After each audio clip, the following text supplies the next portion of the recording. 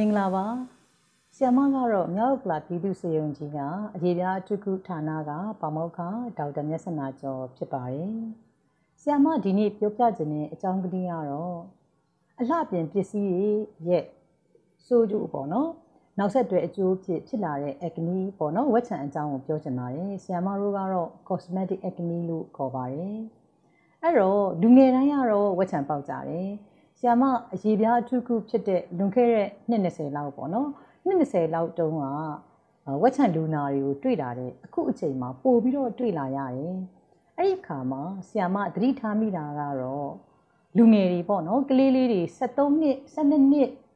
10နှစ်အဲ့အရွယ်လောက်ကစပြီးတော့မှအလှပြင်ပစ္စည်းတွေကိုအသုံးပြုလာကြတယ်ဝက်ချံလည်းပို့လို့ပေါက်လာကြပါတယ်အဲ cosmetic acne ရဲ့ထူးခြားချက်ကတော့ ပုံမှန်ဝက်ချန်နဲ့စာလို့ရှင်ပိုလို့ကုဝခက်တာပါပဲနောက်ပြီးတော့သူကမျက်နာမှာဝက်ချန်အဖုလေးတွေအပြင်ကိုအနီဖုလေးတွေလည်းအများကြီးရှိတယ်နောက်ပြီးတော့အဖြူဆန်လေးတွေပေါ့နော်အဲ့လိုအထဲမှာနက်နေတဲ့အဖြူဆန်လေးတွေအများကြီးပြည့်နေတဲ့ဝက်ချန်မျိုးကိုဆရာမတို့က cosmetic acne လို့ခေါ်ပါတယ်အဲ့တော့ cosmetic acne ဒီအလှအပပစ္စည်းများကြောင့်ဖြစ်တဲ့ဝက်ချန်ကဘယ်နေရာတွေမှာအတွေ့များလဲဆိုလို့ရှိရင် နှစ်ဖူးဆန်ဆက်တွေပေါ့နော်။နောက်မိတ်ကပ်ကိုလိမ့်ချလိုက်တဲ့အခါမှာဒီပါရိုးထောင်ကလေးတွေအဲနောက်ပြီးတဲ့အခါနှာခေါင်းတွေပေါ့နော်။တကယ်ကတော့အဲ့နေရာတွေမကဘဲနဲ့တမျက်နှာလုံးမှာဖြစ်တတ်ပါတယ်